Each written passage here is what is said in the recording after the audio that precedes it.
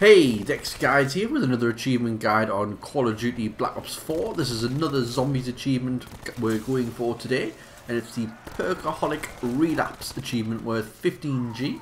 You get this achievement for acquiring every perk in a single game of zombies. So what I did here was I chose the 9 map because it's the one I'm most familiar with, but you can choose any of the maps at all. It's actually quite a simple achievement before what you need to do.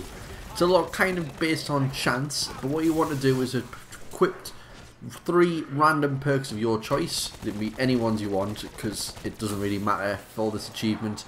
But one specifically has to be the Secret Sauce perk, which is going to cost you 1,500 points per spin. So basically you're going to go around the map and buy the three perks that you've kind of equipped out of your choice then you're going to hang around this secret sauce and keep buying the secret sauce.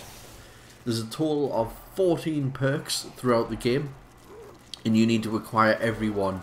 And the way the secret sauce works is it gives you one random perk. Just totally at random. And eventually you'll get all 14 so it's a bit by chance because you can go back to other ones.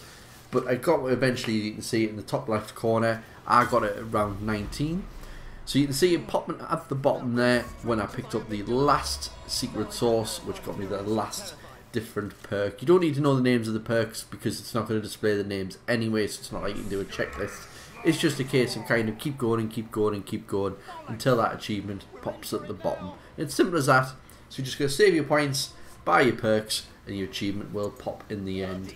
So hope this guide helped out. If it did, please leave a like, comment and subscribe, and I'll see you in the next video. Bye.